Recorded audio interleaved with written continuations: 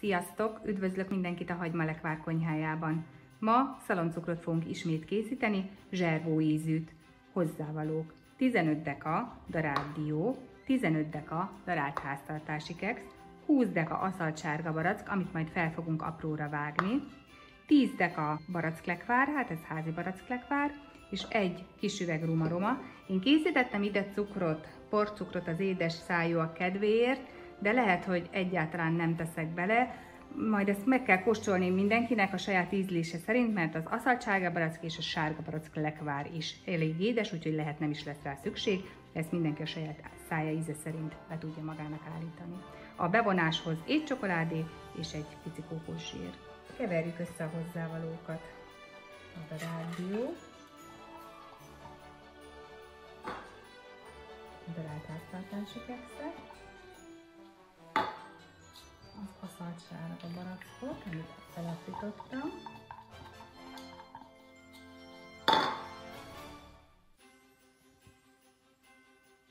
Lekvárt.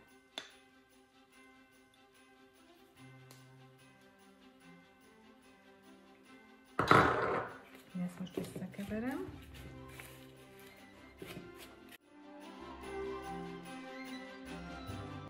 Először csak spatulával, de aztán majd valószínű, hogy kézzel fogom összegyúrni. Egy nagyon pici porcukrot teszek hozzá, mert nem biztos, hogy mindegyik kelleni.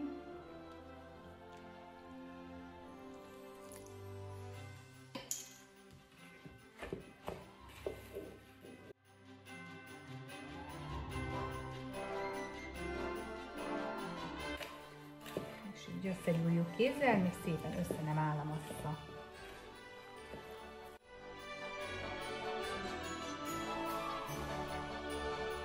Sok minden függ attól, hogy a sárga barack lekvár az mennyire híg, vagy esetleg mennyire kemény. Nyilván, hogyha híg, akkor kevesebb is elég belőle. Javaslom, hogyha híg valakinek, akkor először egy picit kevesebbet tegyen hozzá, és akkor meglátja, hogy Porcukornak csak a felét tettem bele, talán még annyit sem. Ez mindenkinek a saját íze szerint beállítható, de sárga baracklekvár édességétől is függ, viszont az aszalt sárga barack is elég édes. Na, hát úgy látom, hogy ez jó lesz. Elkezdjük a kis golyócskákat, a szaloncukorformákat kialakítani. Először mindig egy kis golyót, azután pedig kicsit szokásra.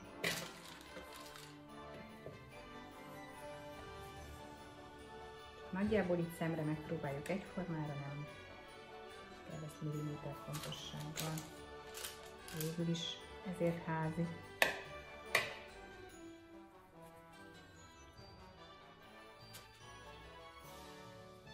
Végeztem, mutatom, hogy hány darab lett.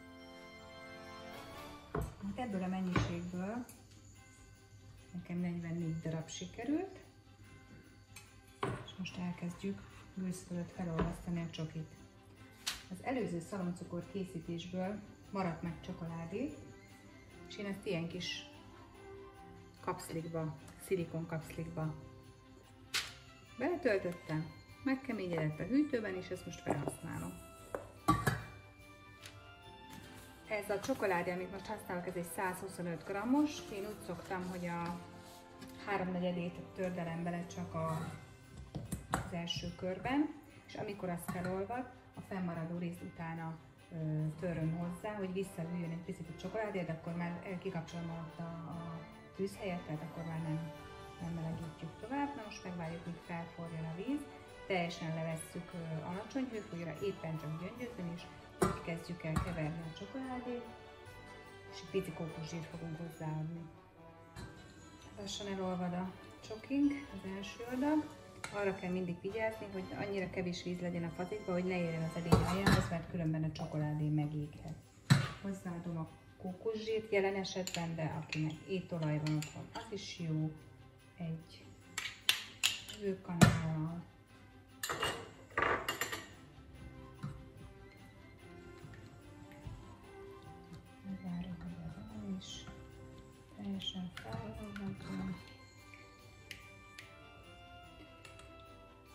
Jó, és akkor most lekapcsoljuk alatt a tűzhelyet.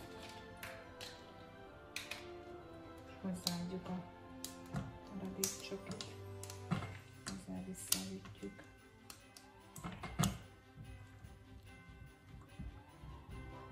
Amint elolvad a maradék csokoládé is, elkezdjük mátogatni a szaloncukrokat. Én két hústűt fogok használni.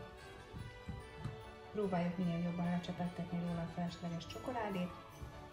Én is sütőpapíros tálcát készítettem ide, azért teszem sütőpapírra, és nem rácsra, mert mikor megdermed, a sütőpapírról könnyedén egy spatulával vagy egy habkártyával le lehet húzni a felesleges csokoládét, és újra felhasználhatjuk.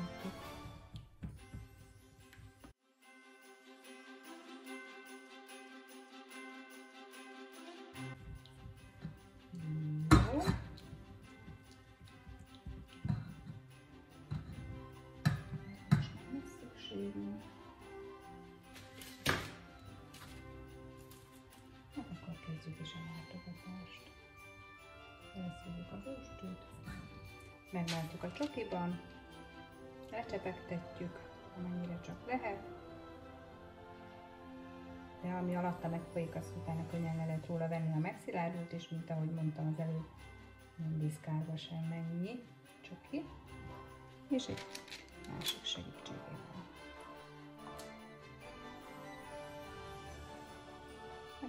Folytatjuk, amíg el nem fogy a látogatni való cukorkán. Utána hűtőbe pár órára tegyük be, hogy megdermedjen a csokoládé.